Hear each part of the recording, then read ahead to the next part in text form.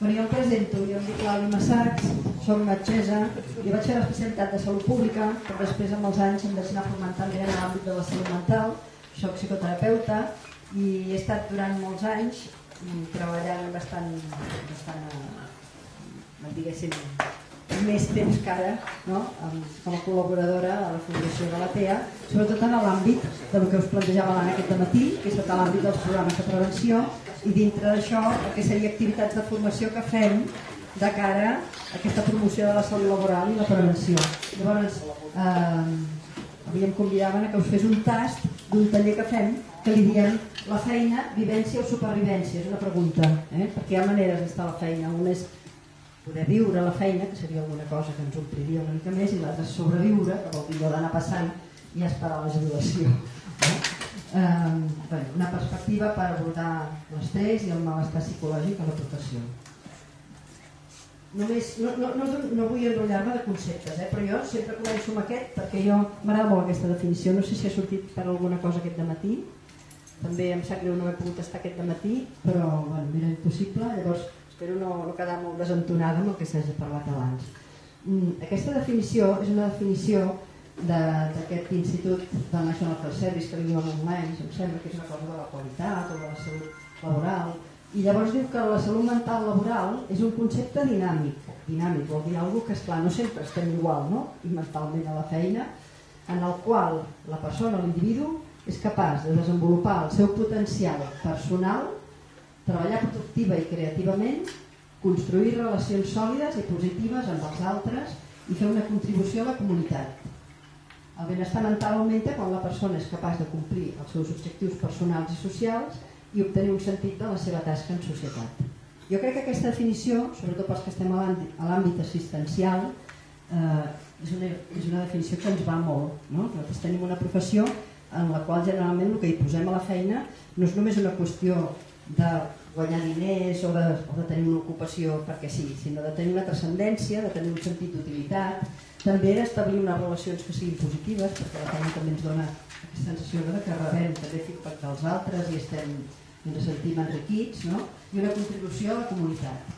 Quin és el drama? Doncs que moltes vegades a les feines el primer que es perd justament moltes vegades és aquest sentit de la tasca, perquè com que aquesta feina no la fem solets, l'hem de fer dintre d'una institució, la institució, doncs, la institució és un dir, és un ente, ara en parlarem, no? que representa que ens comença a distorsionar allò que nosaltres voldríem fer o com a mínim moltes vegades vivim uns dilemes no? entre allò que nosaltres professionalment creiem que hem de fer i el que l'entorn ens demana i a més a més es genera tota una sèrie de dinàmiques que moltes vegades ens fa que perdem l'essència o que perdem el fil d'allò per el qual hem volgut fer aquella professió no? ara ho explicaré una mica més això perquè en realitat el que ens dona més salut mental a la feina és mm, conservar un, sens, un cert sentit de la tasca que fem, no? de, la, de la feina que fem. Eh, jo al taller, el, després farem un cas i farem com una...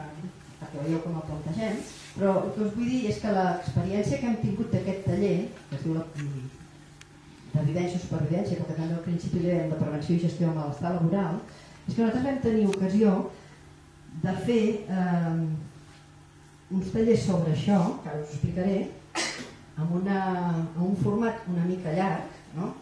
on vam agafar gent que havien estat atesos al país o al retorn i que havien anat allà amb un tipus de patologia doncs, molt relacionada amb, una, amb incidències laborals. Persones amb situacions de, fins igual de depressió, de, de sintomatologia d'ansietat, el que fos, però molt relacionades amb, amb, amb situacions laborals.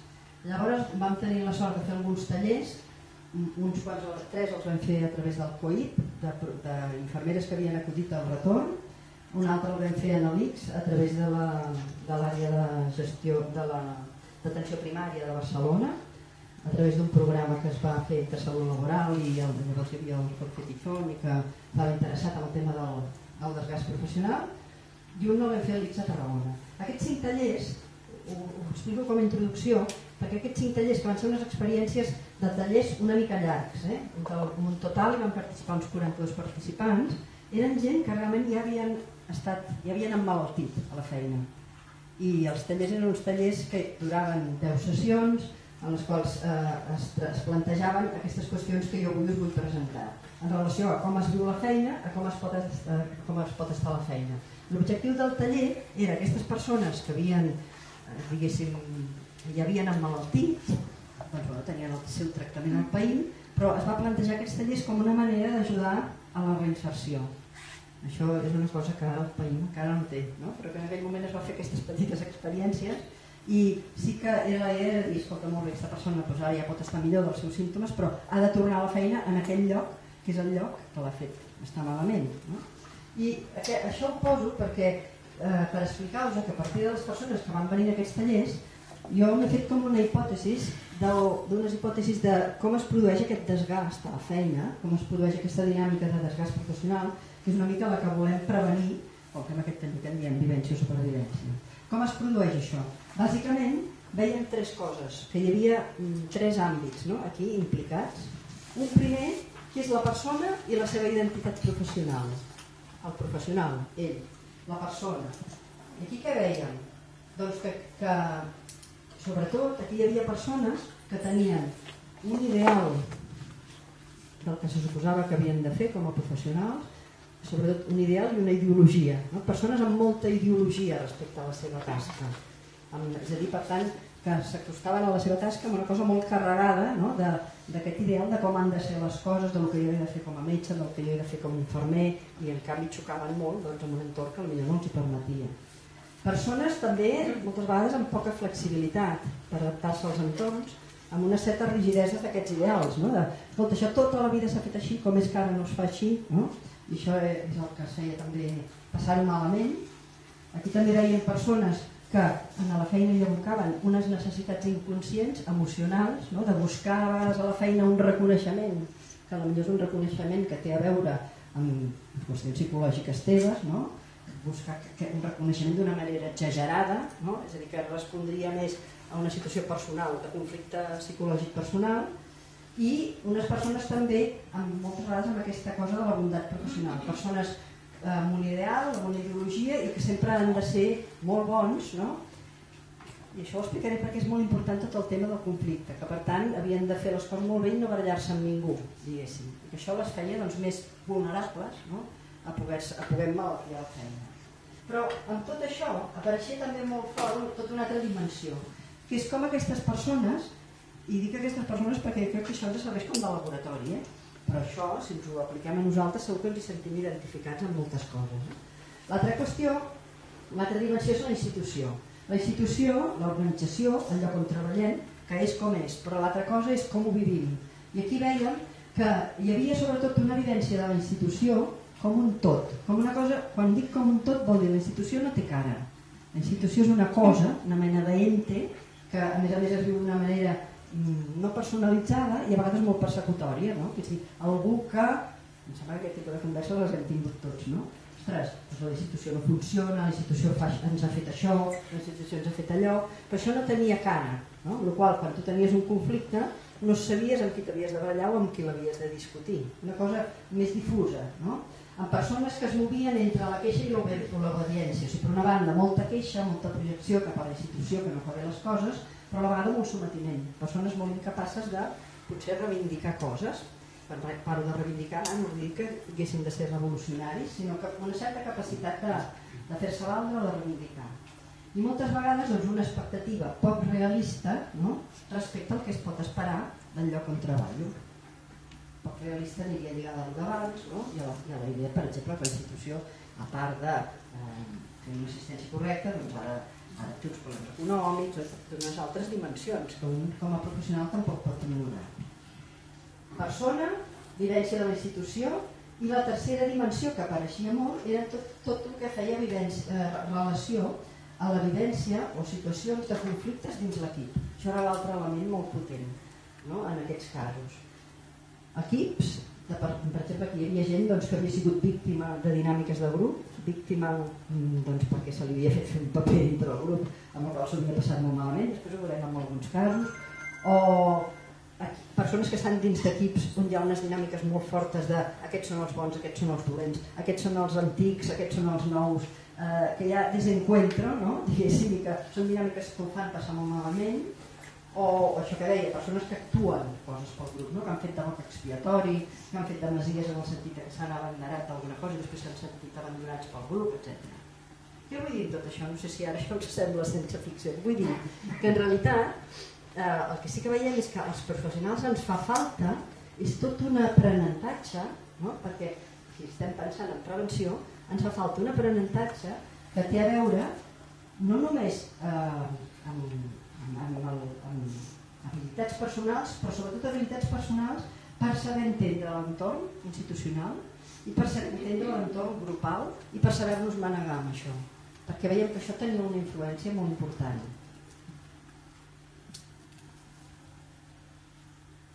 Evidentment, si en tot aquest merder, no, el que generalment passava és que era gent que tenia molta dificultat per, això, per posar límits o per gestionar els conflictes en, un, en, una, en una situació d'aquest tipus.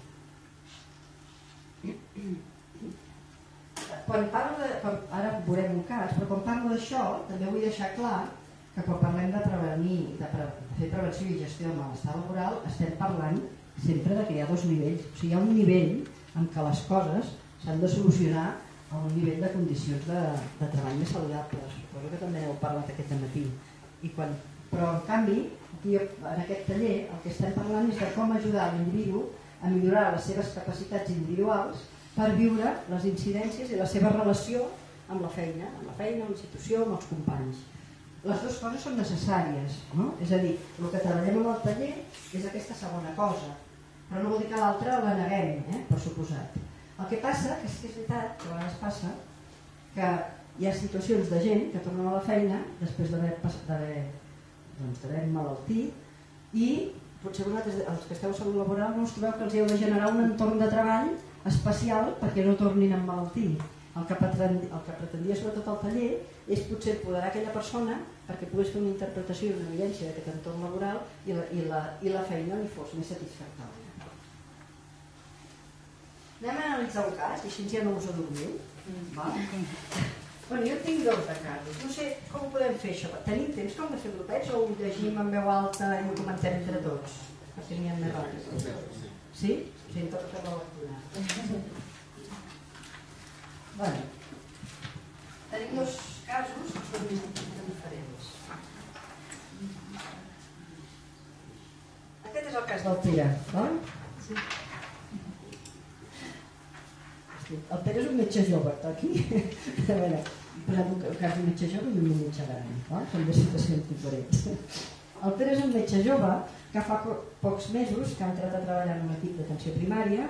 És un equip on en els darrers anys hi ha hagut molts canvis de personal, entre els quals també el director, que, que substitueix a una persona que hi havia estat molts anys i que era com molt ben considerada i molt estimada per tots. Feu la idea, no? i el director de la Rebata, que tota la vida, ara ha canviat. En una reunió, el director, que és aquesta persona nova, no? planteja si algú vol assumir el rol de responsable de formació, ja que la persona que ho feia fins ara és una de les que ha marxat. Ningú s'hi mostra entusiasmat i el Pere, que, que té ganes d'implicar-se perquè és nou i en el seu nou lloc de treball, s'ofereix per aquesta tasca i a tot l'equip li sembla perfecte. Em seguiu fins aquí? És que si no, és no? Al cap d'uns dies, quan el director del centre li comunica al Pere la quantitat que té assignada per la formació aquell any, o sigui la quantitat de diners, resulta ser molt més baixa que la dels anys anteriors. Una quantitat que sembla ridícula per cobrir les necessitats d'un equip de 30 persones. El nou responsable de formació, que és el Pere, va explicant la situació a diferents companys a l'hora del cafè, quan coincideixen a la sala de reunions i tothom li diu hi ha dret, no? que això és una presa de pèl, tots critiquen que se'ls hagi signat tan poc, molts d'ells troben que s'hauria de plantejar el tema a la propera reunió d'equip perquè el seu cap sigui conscient que s'ha de reclamar més a la gerència. Seguiu? El dia de la reunió d'equip, el Pere es prepara una exposició per explicar-li al director que ningú està d'acord amb el pressupost de formació i que han pensat que ell hauria de reivindicar a la gerència corresponent més recursos per a la formació, ja que les necessitats són moltes. El CAP respon que això és impossible i que l'equip ha de prioritzar els temes més importants per ajustar-se al que hi ha. El Pere intenta donar arguments i es crea una discussió molt intensa entre els dos, on el director sembla que l'acusen al Pere de no fer bé la feina que se li ha encomanat i la resta de l'equip calla. El Pere surt molt tocat de la reunió, pensa que el director té una posició poc flexible, però sobretot el que més l'ha impressionat és que la resta de companys que comparteixen els seus arguments no han dit res, com si no haguessin parlat mai amb ell abans. Ell només volia ser útil i ara s'ha quedat sol. Bueno, el Pere igual a partir d'aquí es comença a sentir com malament no? i dibuixat. Llavors, la pregunta que jo us feia és, sé, estem parlant de prevenció, eh, d'això. Vull dir que era igual que a partir d'aquí comença a sentir-se malament. Uh, bueno, com veieu l'equip, com veieu el Pere, com veieu la institució, en aquest cas la direcció. O sigui, el cas que us fa pensar.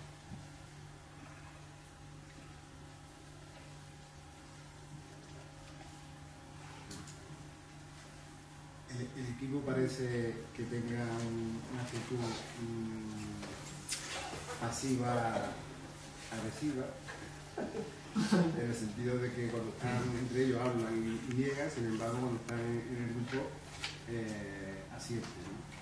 Y, me imagino que el Pera se debe sentir un poco mm, bueno, traicionado o, o, lo han dejado solo. No sé si te referías por aquí. Sí. Jo potser eh, respecte al Pere li plantejaria si s'ha preguntat què pot fer amb el que té. Si amb el que té, encara que sigui poc, quin, quina rendibilitat li pot, li pot donar el poc que té. Perquè de vegades pues, l'educació, bueno, el que, la tasca que li han encomanat, pues, clar, si vols fer una classe magistral amb, amb moltes coses i vols fer un projecte molt ampli, doncs, mm. econòmicament potser no s'ajusta. Però si pots fer alguna senzill... Sí. Si fa això, què li passarà? Si fa això, què li passarà? No sé. L'equip dirà que això és molt poca cosa, no? Eh? L'equip potser, amb l'actitud que té l'equip potser que això és molt poca cosa. El cap de formació, sí. Però és el que té. Bueno, sí, no sé si penseu en alguna situació similar. Aquí us heu sentit sols a l'equip, alguna cosa, deixats. Home, si m'identifico amb el Pere, sí. em sentiria molt malament perquè d'entrada jo havia fet una opció personal pensant que podia gestionar una sèrie de coses, no? Sí. les expectatives, que després m'he trobat que l'empresa, per una banda, me les ha fumut en l'aire, no? perquè m'ha donat un pressupost que no era el que jo esperava que podia gestionar i per tant que podria doncs, eh, estar bé, perquè els companys també m'ho i al, i al contrari, el que he trobat és que m'han retallat i a sobre els companys van i es queixen, no? I jo estic aquí al mig manegant unes idees que no hi són, no? amb la qual em sento malament per totes bandes, per l'empresa i pels companys. I a lo millor, fins i tot amb mi mateix també, no? perquè m'ha manat a mi fotre'm aquest final, no? Per tant, entenc que s'angoixi com Pere. Sí, I si el Pere segueix d'aquesta manera, diguéssim, sí que té una mica de números per anar-se sentint cada cop més desmotivat, no? Segurament la conclusió és dir, oh, vale, jo m'ofereixo, jo faig, després els altres no, no, no em responen, a sobre el jefe es pensa que jo soc mala persona perquè li planteja, li diu que enfrontant el jefe no? i m'he sentit desmotivat. Eh? Potser la propera vegada, en comptes d'anar explicant a cadascú i saber l'opinió de cadascú de forma separada, els hauríem de reunir a tots i fer una com molt més. Mm. Jo em sembla un compromís entre tots els companys i així estaria doncs, d'una manera més recolzat a nivell formal els companys. Què l'ajudaria el Pere en aquest cas? Què l'ajudaria? Perquè clar, ara el Pere seria una persona que el podríem ajudar amb aquesta idea de la prevenció. No? Què l'ajudaria? El suport de l'equip. El suport de l'equip, molt bé, però no el té. Sí, sí. Vull dir que sabem que el Pere l'ajudaria, el suport de l'equip, però no el té. Que hagués tingut molts diners, però no els té. Que el jefe fos més simpàtic, però no ho és. Doncs això ens pot passar en moltes situacions, no?, quan treballem per tant, que, quina eina li podem donar al Pere? Formació. Formació. Per gestionar l'equip. Eh? Formació per gestionar Per gestionar l'equip. Perquè s'ha- s'ha llançat a la piscina. Exactament. Formació per enterar-se del que passa. Va. No? Formació per enterar-se del que passa. Perquè és veritat, el que tendim a fer és dir, hosti, no hi ha dret aquest equip, vale? Mm, no tinc equip. O sigui, què passa amb l'equip? L'equip és un equip poc cohesionat. És un equip que jo us ho he explicat a la història, que ha perdut el seu líder carismàtic de tota la vida, que fa poc que s'ha jubilat o se n'ha anat, eh, i que està desconfiant respecte al nou líder. Hosti, això és molt important, eh? perquè tu estàs en un equip que està una mica així amb aquest senyor que ha vingut nou. És que en aquest cas, diguéssim, respon una mica a un cas real. Eh? Uh, a més, l'equip escull el Pere per alguna perquè quan ell diu, hosti, no tenim diners per això, tots, doncs vinga, que hem de fer és fer la reunió i tu digue-li, tu digue-li que... Què està fent el Pere aquí? Està fent de boca expiatori. Si un té una mica més de coneixement d'això, vol dir, ep, no? Bueno, a veure, jo vull parlar amb el director de que no hi ha calés, però potser no em presto a tota aquesta dinàmica. Ho dic perquè hi ha gent que ha patit molt amb dinàmica, ficat a dintre de dinàmiques de grup. Eh? Bueno, a la direcció. La direcció és evident que també desconfia de l'equip. Aquest director no és el d'abans. Aquest director és un director que va així, a la Pere li planta cara i li diu, escolta, xaval, tu estàs fent malament la feina.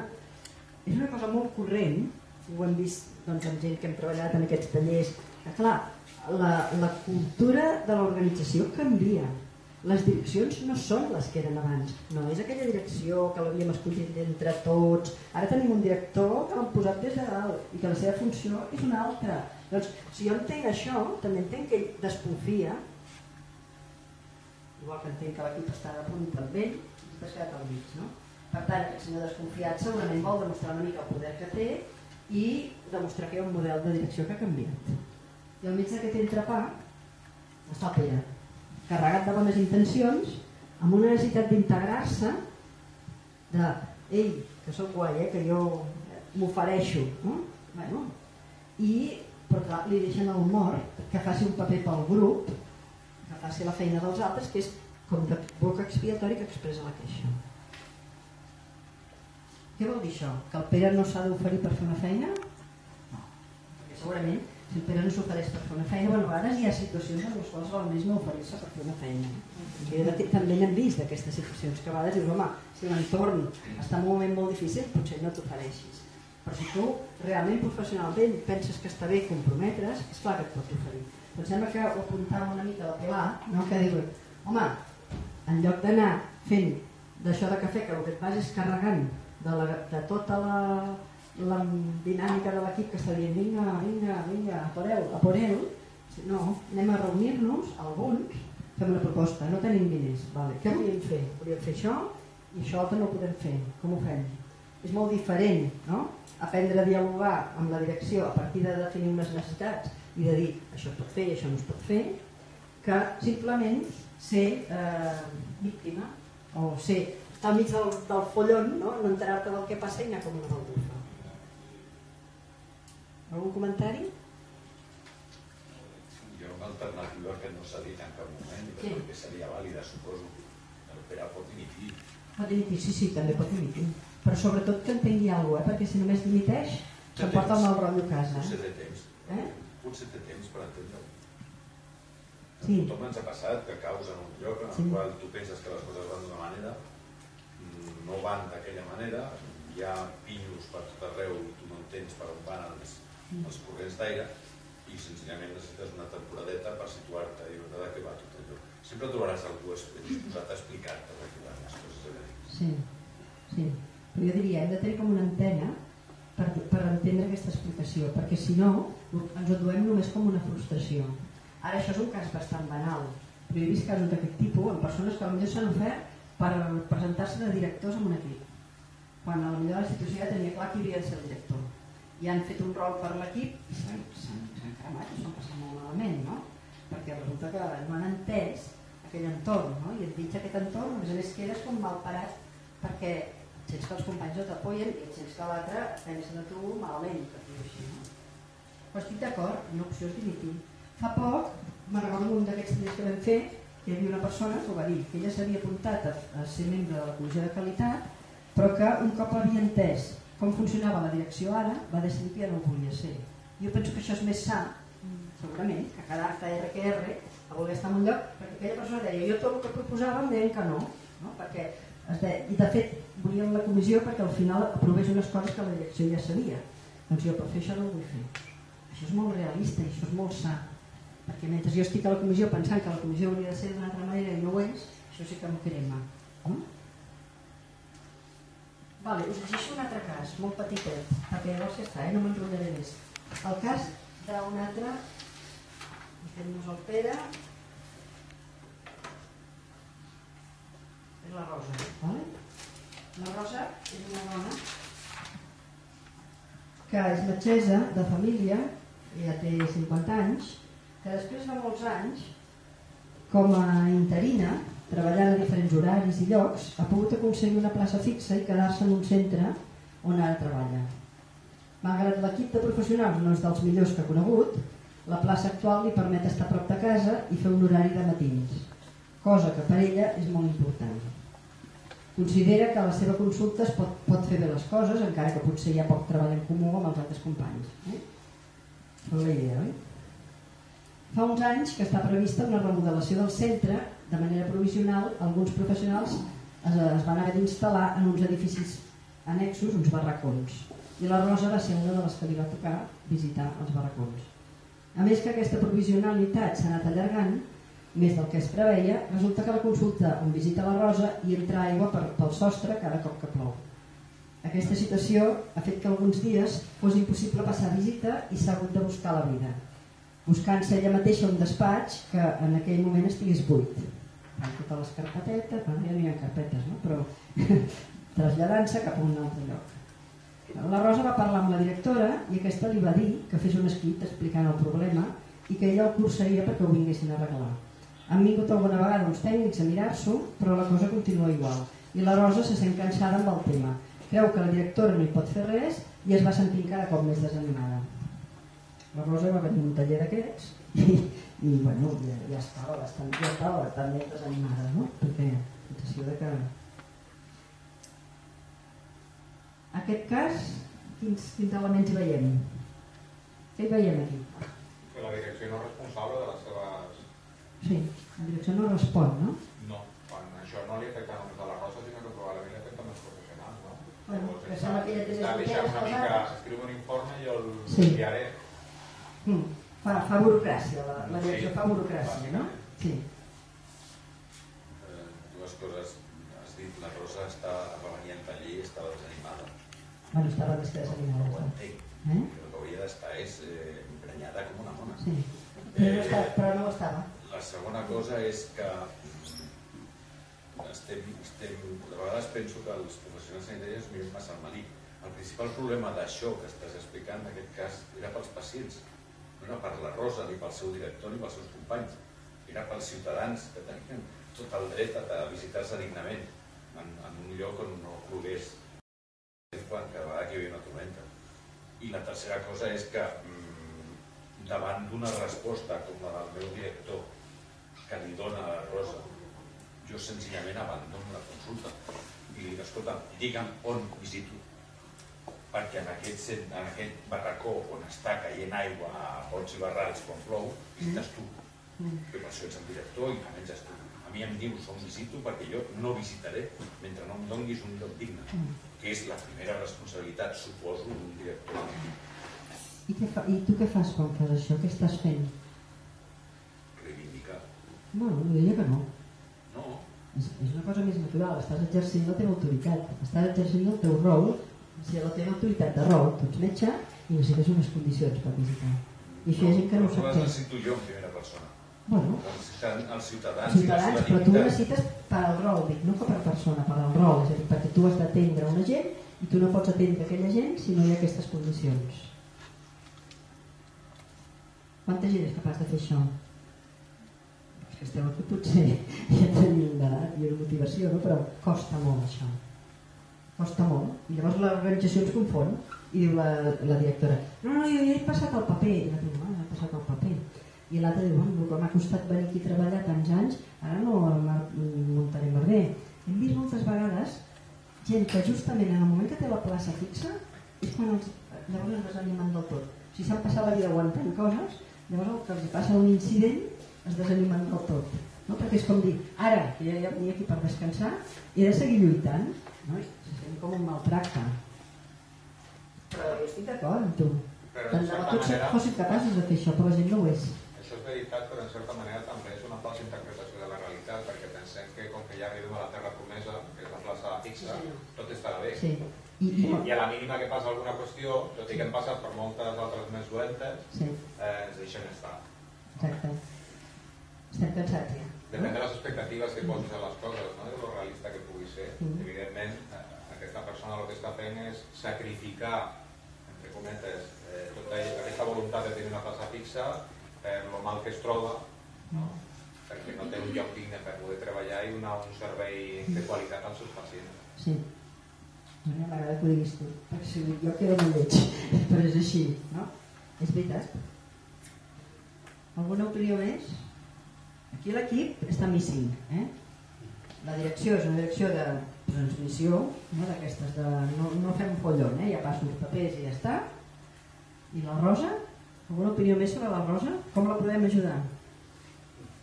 Perquè la Rosa té molts números, diguéssim, que, que si està així i torna a la feina torna a tenir les goteres, mm, se sent sempre fatal, no? Però bueno, això és un exemple que un dia ho explicava, hi havia uns que deien que en el seu centre tenien formigues, recordes? I llavors sempre que anaven a treballar i veien les formigues es fotien fatal, llavors treballaven fatal perquè quan veien les formigues era com si veiessin el gerent sortint per allà, no? Perquè ells anaven dient que els havien d'arreglar això de les formigues i això de les formigues no es podia arreglar perquè havia construït el centre sobre un terreny que tenia formigues. El que fa mal és que tu cada vegada que entres a la consulta i et mulles o cada vegada que, que et surten les formigues tu et sents derrotat. No? Sigui, jo pensava, pot ser una miqueta de però que potser estem fent més treball de cooperants, a vegades en el quart món, que, que, que allò, no? És a dir, que d'això que expliquem, segons com pot sobtar, no? Que hi ha aigua, que segons de racons, hi ha les formigues, que segons com ho podem situar en un altre context. No? Home, això no ens hauria de servir per conformar-nos, però potser també es podria un exercici personal d'autocontrol? D'autocontrol en quin sentit? De Bueno, perquè esclar, tens dues opcions. amargar-te la vida, no? I lluitar i posar-li, enfrontar-te i tot això, tot el que això vol dir, depèn de com sigui cadascú, o, o bé optar per una altra posició, una altra posició que dir, bueno, intentarem eh, des d'un cert autocontrol eh, canviar les coses. Digue'm. Bueno, jo, la meva opinió personal és que aquí s'ha posat en pràctica la intel·ligència emocional. Mm. Una mica d'acord amb ell, no? Si nosaltres sortim del nostre centre emocional i ens discutim i utilitzem un llenguatge verbal o no verbal d'aquest estil, és fàcil que una Sí. baralla. Hi ha gent que diu, aniria a la tele, cridaria a la Sí. tele, a la tele. Per tant, ens agradi o no ens Sí. agradi, hem de mantenir el nostre centre emocional i anar cap a una altra via per lo que la majoria no estem preparats, que és saber negociar. Saber negociar, doncs ja ho va dir el Lincoln, no? Si tingués 6 hores, emplearia 4 en afilar i l'anxa, no? Clar, a vegades, si tingués 6 hores per tallar un arbre, utilitzaria 4 en afilar l'esclau. Això vol dir que, clar, tant en aquest cas com en primer, si tu actues por libre i venga, jo vull allà i al despatx i a més, a més no em sento recolzant ni que et pots fotre una hòstia i a sobre si aixeques la veu acabes estigmatitzat. I penso que això Sí. s'ha de preparar molt bé, estudiar-ho i saber negociar per sortir guanyant. Però aquí és on hi ha el punt que... Sí, però jo penso que aquí és on hi ha el punt que nosaltres pretenem treballar en aquest tipus de tallers, que és entendre l'organització, no entendre-la per sotmetre's, entendre-la per, per saber per on m'he de moure. Sí, clar. Perquè la negociació, quan és, bueno, quan és frontal ja no és negociació. Quan és empresa no és negociació, no? és més coses. Però jo he d'entendre què va passar en el cas de la Rosa, una xorrada, eh? però eh, bueno, hi ha una institució molt burocràtica, molt burocràtica, tu fas el paper i se suposa que si fas el paper ja t'ho vindran a arreglar, no? i una direcció poc, poc proactiva, és aquesta direcció més eh, fi, de, no, de no voler follon. No? Hi ha un equip que poc solidari, en aquest cas segurament gent cremada, que passa de tot, i bueno, hi ha la Rosa, que a la Rosa què li passa? Com pensa que funciona la institució? Home, ella mateixa també queda eh, com si en convivència amb aquesta direcció que diu no, no, nena, tranquil·la, eh, passem el paper i ja vindran. No? Ella també d'alguna manera es vol creure que aquesta institució és, eh, funciona així burocràticament i no hi ha res a fer. No? Eh, com es veu ella també dins la institució? Ho deies tu abans. Ella ha fet una opció, com que se sent que, hosti, ara que no em toquin això, també té menys capacitat de negociació, perquè té por que això li representi perdre la seva estabilitat, el seu lloc a prop de casa, que és mentida, eh? perquè això molta gent té molt aquesta fantasia, no, no fotem merder perquè llavors encara em, em canviaran les condicions. El que tot això fa és una mica que la Rosa dintre d'aquesta institució no li queda clar quin és el seu rol. Ella com a metgessa, si, pot, si això és molt important, hauria de trobar una via per poder-ho comunicar. Si el paper no funciona, potser agafar el telèfon i trucar a algú. Perquè els que fan aquestes coses són més feliços. Sí o no? Bueno, si mireu persones al vostre entorn que resolen els problemes, si escolta, no ens va la impressora, no ens va la impressora, no ens va la impressora, ostres, fatal, tu veus com són, que no ens venen mai a arreglar la impressora. Algú vol que funcioni la impressora? Si algú vol, acaba trucant i, i, i això no és molta estona, eh? això és una posició mental, eh? perquè és la manera en què truco i que jo dic, escolta, com que soc la doctora tal i sense impressora sí, el que tu has dit si no hi ha impressora avui no visitaré perquè si no puc fer això o si no tinc, si, si hi ha goteres doncs avui ja me'n vaig a casa si et sembla i tot aquestes visites ja me les programem per demà ostres, dir això a l'assertivitat l'intel·ligència emocional vol dir tenir molt assumit que jo tinc un rol que el meu rol dintre la institució em dona una autoritat no? I no és barallar-se, és entendre aquesta institució, la via burocràtica no, és la que és però no funciona que si jo vull arreglar alguna al final he d'anar a trucar a la porta del que m'ho pot arreglar. Què va passar amb la Rosa? Doncs que la Rosa va entendre que podia trucar, acabar trucant amb un telèfon que arribava perquè clar, això era... I, i, i bueno, doncs aquest paper havia anat a parar en un despatx i estava de la cua, no? Llavors, quan ella va trucar, va dir, escolti, jo tinc això, ta, ta, ta, ta, ta, doncs van anar, perquè potser això estava simplement amb un procés que segurament moltes vegades no és ni maldat de ningú, però que un es pot anar alimentant aquesta idea més negativa del lloc on està, del mal que li fan i tot això, no? És a dir, que som prop proactius. Jo, em sembla que no tinc gaire temps. O sigui, que es tractaria que la Rosa exercís més la seva autoritat de rol, que no és l'autoritat personal, és una autoritat que li torna el fet de... No? d'haver de fer la seva feina, no? És per fer la seva feina, és per servir els ciutadans que necessitem que no plogui. I això em sembla que ens falta molt moltes de les persones que emmalalteixen els hi falta molt aquesta autoritat de rol moltes vegades, no? no sé, com, com una, que queden més atrapats no? amb una idea de que, que estan en un entorn hostil i que costa molt poder fer bé les coses. No? L'entorn no és fàcil i no és fàcil per ningú. Jo ja, ja acabaré perquè si no, no, quan que diguéssiu alguna cosa, però el que fem en el taller, sobretot, és treballar aquests elements de comprensió aquests tres nivells, no? el que és la dinàmica institucional, el que és el grup i el que és un mateix, com si col·loca un mateix dintre d'aquest cercle, perquè nosaltres per força ens movem amb aquests tres elements. Jo puc treballar sempre jo pensant que l'organització és molt dolenta o que l'equip em fa males passades, o m'ho puc començar a mirar d'una altra manera i m'hi puc col·locar diferent. I puc gestionar diferent perquè ho entenc diferent. M'enteneu o no? Mm. Això bàsicament són tres cosetes. Us en dic una. Una és aquesta, això és molt simple, però jo ho diré un moment. Nosaltres tendim a pensar que l'organització té aquests dos elements, les persones i l'organització. Però aquesta dimensió del mig, que és la dimensió de poder o la dimensió relacional de la institució, és la que la fa funcionar. Si us ho dic a vosaltres, tots entendreu que moltes vegades per aconseguir una cosa, dintre de l'organització hi ha un organigrama, hi ha uns serveis, hi ha uns grups, hi ha uns directors, però després hi ha uns lideratges, uns grups, unes persones que tenen poder d'una manera informal. Moltes vegades perquè t'arreglin una cosa és millor parlar amb una persona determinada que no fer el circuit que diu l'organigrama. Entendre això no vol dir haver de fer una tesi doctoral sobre això, vol dir que si jo ho entenc més, tinc molts més elements per moure'm en un entorn que és difícil. El cas de la Rosa, si la Rosa pot entendre que el paper queda per allà, doncs potser pot fer gestions perquè es mogui aquest paper. El cas del, del Pere, no? si el Pere pot entendre que ara hi ha una direcció diferent i que potser eh, no pot anar de buenista no? i que llavors ha d'intentar fer un programa i pactar les coses, això és diferent. Una cosa és entendre la institució i una... Bueno, no tinc temps, oi? Ja està.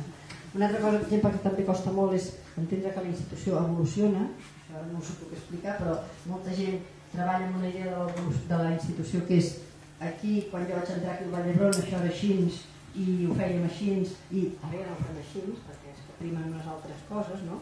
i jo funciono com si m'haguessin de donar les mateixes coses a la institució i no me les dona i això és molt frustrant i després hi ha el tema del grup això és molt important, entendre que el grup és un sistema i que nosaltres tot això dels rols, no? podem jugar rols pel grup i que el grup ens els pot fer jugar i que moltes vegades molta part d'aquest malestar ve d'això per exemple, hem vist molta gent que està dintre d'equips on hi ha dos bàndols i això és passar-s'ho molt malament no? i llavors aquí hi ha tot un sistema de de projeccions i de coses que ho fan passar molt malament. Si tu no pots tenir una visió una mica elevada del que és el grup i del rol que tu pots fer, tu passes pitjor.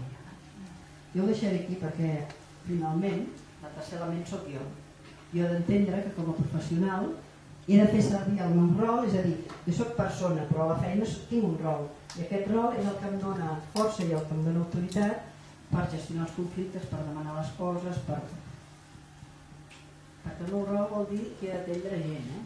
no perquè estigui perquè sigui capritxo mi. Però no sé, m'agradaria més que diguéssiu alguna cosa, perquè jo això... Mm.